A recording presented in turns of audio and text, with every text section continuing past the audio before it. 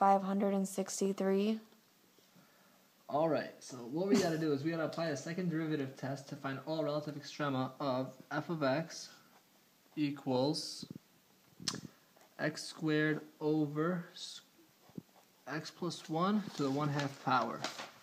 So we're to do deri first derivative first equals x plus 1 to the 1 half times 2x minus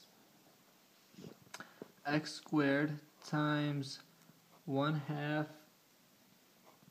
x plus 1 to the negative 1 half power all over x plus 1 to the 1 half square is going to be x plus 1. Alright, the next step is we're going to factor out uh, x times x plus 1 to the negative 1 half power.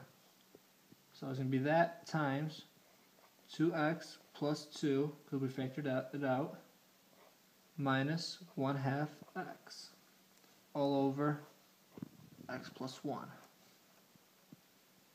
And then we're going to do some simplifying. So we got x times x plus 1 to the negative 1 half times 3 halves x plus 2 all over x plus 1. Alright, uh, next we're going to move this x plus 1 to the negative 1 half to the bottom so we have a positive exponent. So it's going to be x times 3 halves x plus 2 all over. Now x uh, plus 1 to the, to the 1 half plus 1 is going to equal x plus 1 to the 3 halves power.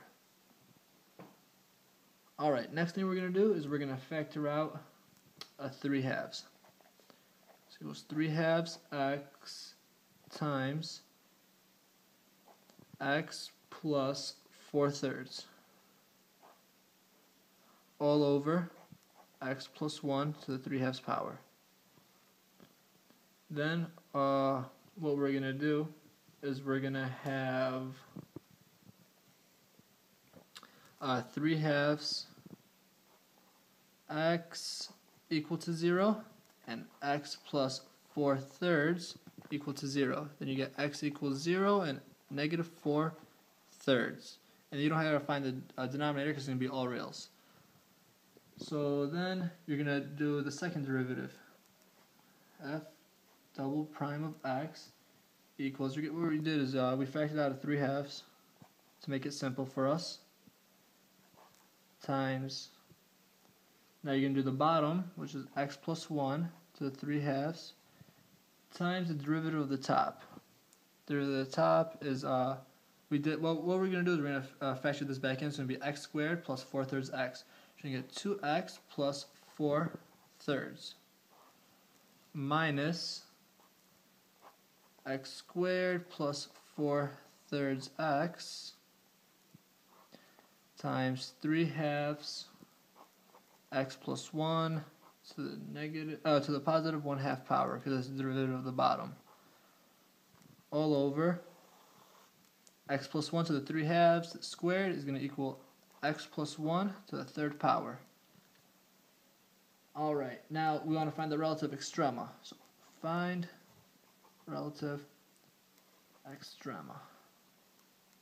So we're gonna do uh, we're gonna do f of zero because uh, negative four thirds is not gonna work since we can't have a negative in the radical. So it's just gonna be zero. So you're gonna do f double prime of zero equals three halves times 0 plus 1 to the 3 halves power times 2 times 0 plus 4 thirds minus 0 squared plus 4 thirds times 0 times 3 halves 0 plus 1 to the 1 half power all over 0 plus 1 to the third power. Now, uh, all we gotta know really is we gotta know if it's gonna be greater than or less than zero. So this is going to be over 1. Because 0 plus 1 third to the third power is just 1. You have 0 times 0. I mean, no, you can have 1 uh, times 4 thirds. It's going to be positive and positive minus 0. Because all this is going to cancel out just equals to 0. That means it's greater than 0. It's going to be concave up. Now, to find out what the relative minimum mi minimum is, you know it's going to be minimum because it's concave up. You're going to plug in 0 to the original problem. So you get 0 squared over square root of 0 plus 1. 0 is the numerator, so it equals 0. So you you have a relative minimum at 0, 0. And that is how you do number 24. Bada bing, bada boom.